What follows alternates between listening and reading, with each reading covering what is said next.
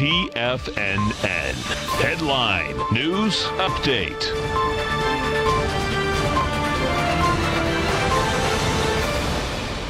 Hi, folks. This is Basil Chapman, the host of the Tech Technicians Hour and the opening call newsletter, doing the 1 p.m.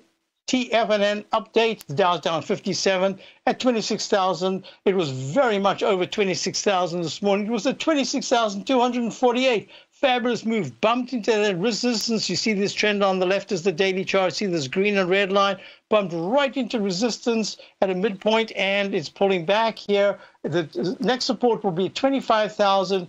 970, I think, yeah, 70 to 29, 25,920 over the next day or two. Uh, if it takes that out, then it's going to be a little bit more of a timeout, but it's still a very strong market. The S&P is also down a little bit now. It's down seven. Uh, it's almost eight at 28.79. Had a very strong move, and now it's just digesting this very big gain. 28.72 to 28.63 will be the support that I'd be looking at on the shorter term. Major support at 28.51. If it does that, I'm not sure it needs to do that. Just this is a breather off a spectacular move. The QQQ, same thing.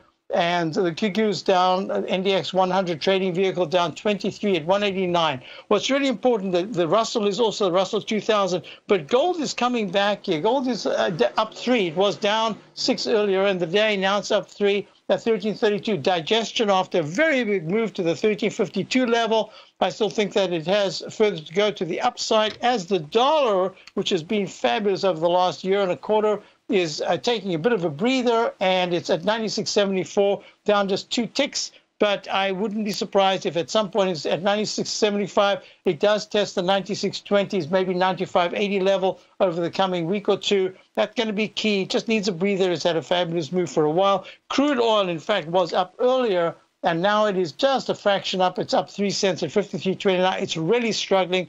Crude oil and the IYTA, question about that. Yep, the transports are also down. The crude oil and the transports have been kind of failing lately. I want to see them both move up together with the, with the Dow. That'll be a very good sign. But this is a breather within a market that's had a spectacular move from, from Monday a week ago, where the Dow was trading um, 14, 1500 points lower. So this is a timeout, just a well-deserved timeout. Stay tuned. You've got Steve Rhodes coming up, then Dave White and Tom O'Brien, and uh, have a great day.